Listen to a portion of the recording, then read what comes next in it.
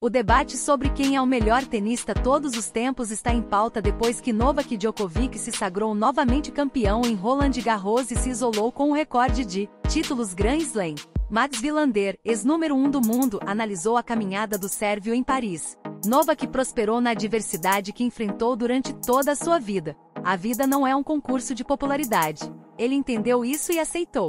Esta é a grande lição de Novak Djokovic. A carreira no tênis pode te fazer crescer como ser humano. Ele é claramente o melhor, começou por dizer ao L. Ekpe. Mas há outra pergunta a ser feita. Não posso dizer isso porque essa consideração também alimenta outros aspectos com influência no jogo. Sempre associo Novak a Federer e Nadal, mas para mim, hoje, é ele quem mantém a bandeira dos três grandes no alto resumiu.